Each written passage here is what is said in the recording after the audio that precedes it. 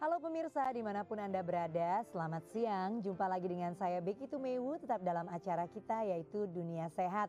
Dan hanya di Daai TV. Apa kabarnya pemirsa? Mudah-mudahan semuanya dalam kondisi sehat walafiat tanpa ada gangguan kesehatan apa pun. Oke pemirsa, dalam kesempatan kali ini kita akan membicarakan tentang satu hal yang pastinya kalau terjadi pada para pria ini mengganggu sekali. Memang sih pemirsa dunia sehat tidak semua laki-laki memiliki problem mengenai hal ini. Yang kita bicarakan kali ini adalah soal impotensi ya. Namun eh, pun tidak menjadi masalah setiap pria, tapi permasalahan impotensi atau disfungsi ereksi ini rasanya bisa menjadi musuh besar ya untuk uh, pria yang mengalaminya.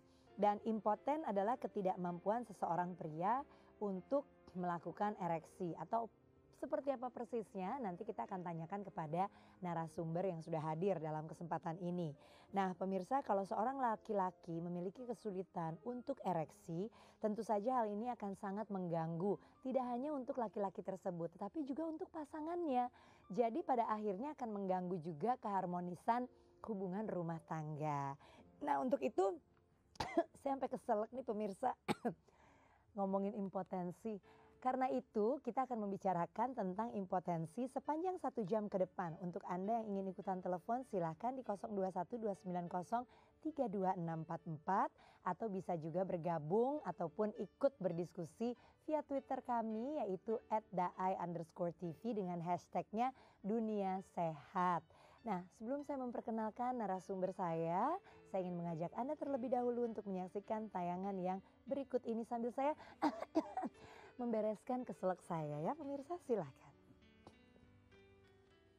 Asli.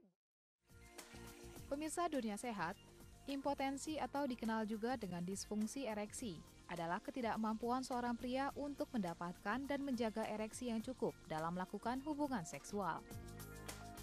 Ereksi terjadi karena adanya aliran darah dalam jumlah banyak melalui pembuluh arteri ke penis dan menutupnya pembuluh balik vena, sehingga darah tertahan di batang penis. Banyak faktor yang bisa menyebabkan impotensi ini.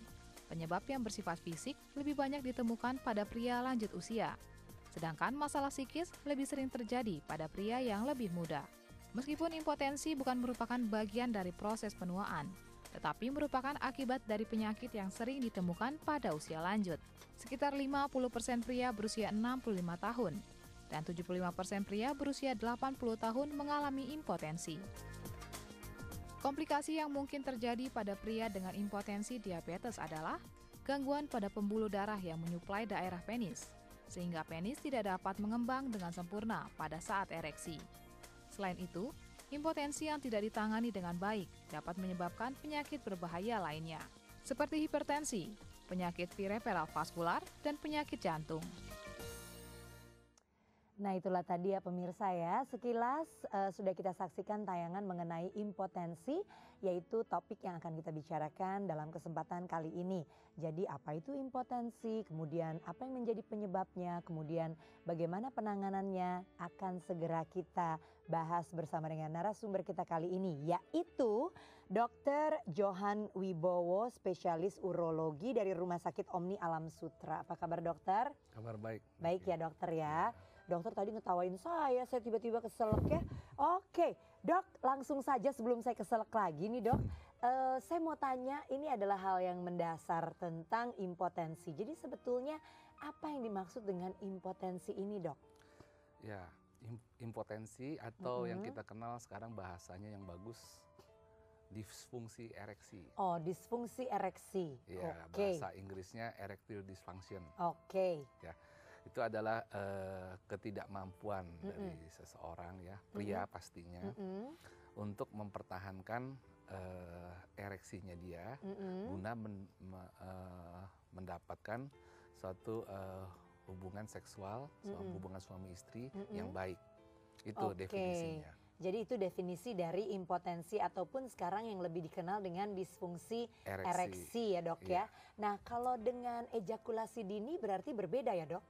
Oh beda. Beda. Beda. Nah kalau ejakulasi dini itu bagaimana dok? Tidak termasuk impotensi? Tidak. Hmm. Uh, jadi kalau ejakulasi dini Mm-mm. itu eh, si penderita Mm-mm. itu dia tidak mengalami disfungsi ereksi. Dia bisa mengalami dia Hmm. mengalami ereksi. Oke.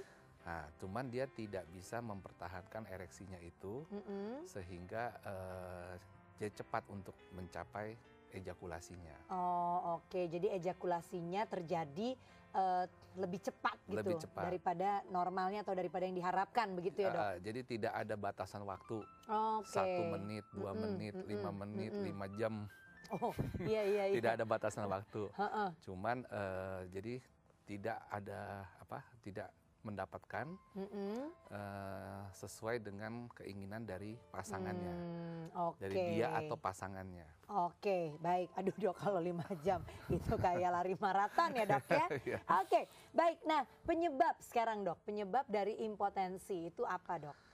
Ya, kalau eh, dari penyebab ya kita macam-macam ya, Mm-mm. karena proses daripada ereksi sendiri itu sangat kompleks. Hmm. Jadi kalau penyebab itu kita mulai dari eh, penyakit Mm-mm. ya, penyakit-penyakit sistemik itu seperti darah tinggi, Oh, oke kencing oke. manis Iya, atau yang iya, lebih dikenal dengan diabetes mellitus, Mhm, ya mhm. ada terus penyakit jantung. Mhm. Nah, itu bisa menyebabkan disfungsi ereksi. Hmm. Kemudian eh, obat-obatan Iya. Ya.